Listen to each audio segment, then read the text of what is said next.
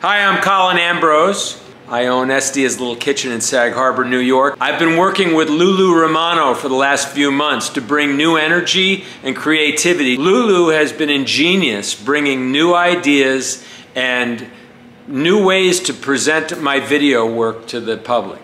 It's been wonderful working with her and we're working hard on building a new profile for an existing platform. I look forward to working with Lulu as we move into the social media aspects of pioneering the creative work we've done together.